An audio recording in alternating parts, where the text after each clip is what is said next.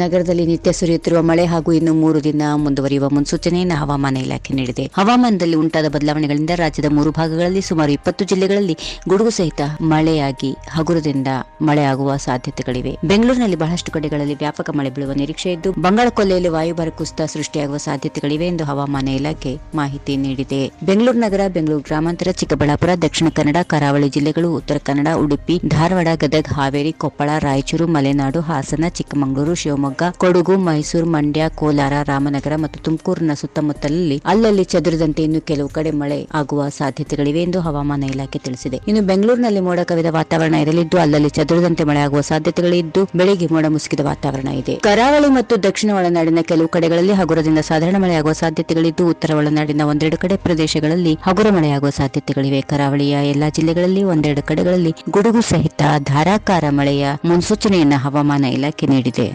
You like this video, ಬೇಗ like ಮಾಡಿ, comment ಮಾಡಿ, ಶೇರ್ ಮಾಡಿ ಹಾಗೂ ಯೋಯೋ ಟಿವಿ ಕನ್ನಡವನ್ನು ಸಬ್ಸ್ಕ್ರೈಬ್ ಮಾಡಿ.